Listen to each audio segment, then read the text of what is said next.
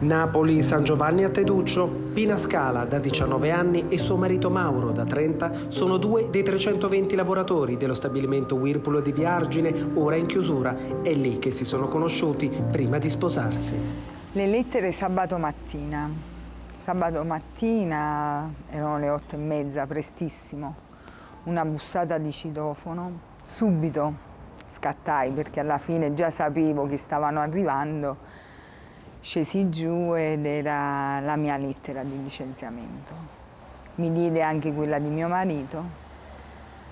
È, stato, è stata una botta mm, al cuore, è finito un percorso della mia vita, perché abbiamo chiuso una storia, un capitolo.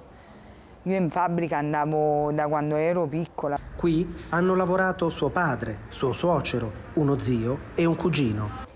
Questa è la nostra ultima divisa. Io non ha, ancora non ho buttato niente. Ora devo togliere tutto da mezzo.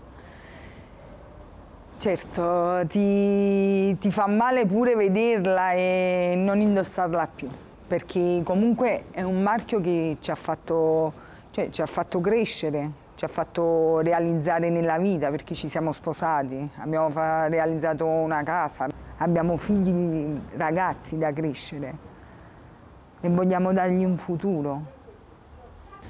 E anche loro comunque pensano a dire mamma mi devo scrivere all'università, ma poi, ma poi ce la faremo, perché noi ce la dobbiamo fare, perché non dobbiamo abbandonare il nostro territorio. Qual è la cosa che fa più male di tutta questa vicenda?